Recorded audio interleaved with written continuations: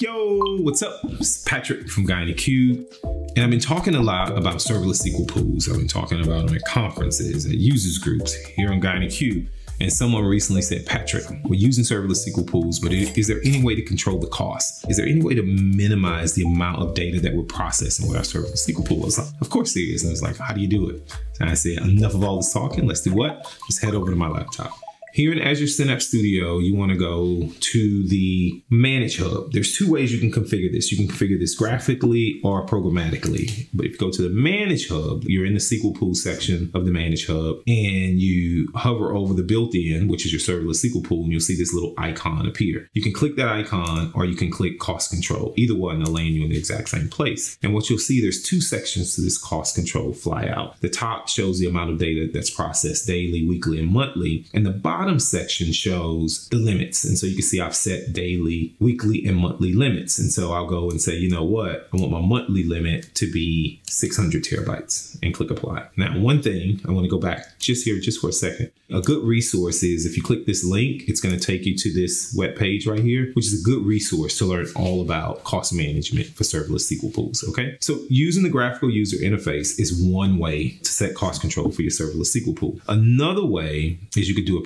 programmatically. Let me show you. So if you go here, there's a query that you can run against this DM. It's external data process. If I run this, this will give you the top section of that graphical user interface, daily, weekly, monthly data process. But what about if you want to set your thresholds programmatically, because a lot of people don't like to use graphical user interfaces to do anything, right? They want to run a query to see how much data I use. And then based on that, I want to set up a process to determine if I need to modify those thresholds. where you could do that programmatically. Let me show you. And so using this query right here, I can set limits. So I'm going to run this query and I just overrode what was out there to set it to 350 and then if I run this query right here, I can actually see those limits. So watch when I run this query. I'll run this query. You can see that I've set a daily limit of one, a weekly limit of seven, and a monthly limit of 350. And if I go back to the cost control in the Manage Hub, you'll see the exact same numbers. So you may be thinking, Patrick, well, how do I know if I need cost control? Maybe you don't, maybe you do. There's some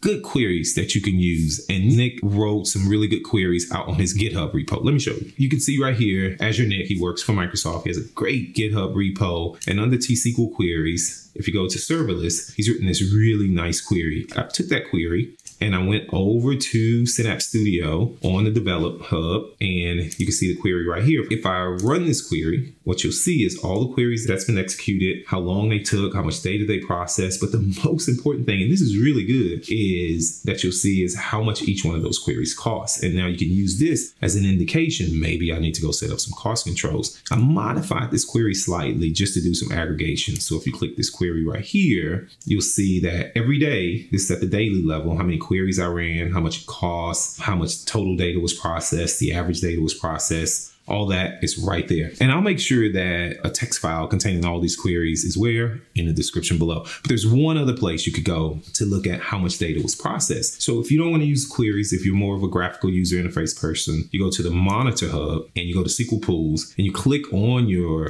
built-in SQL pool. You can see there's queries running, how much data was processed in the last minute. And if you scroll down a little bit, you can see all the data that was processed in the last 24 hours. And so it kind of aggregates it up. It's it's a cumulative total. All right, what do you think? You got any questions, you got any comments? Have you been out to Nick's Git repo? You should. It's a great toolbox of resources that can be used to help you monitor your Synapse environment. If you want to know more about Synapse and serverless SQL, you should go check out the playlist that's flying above my head right there. There's a lot of great resources. And always, from Adam and myself, thanks for watching. See you in the next video.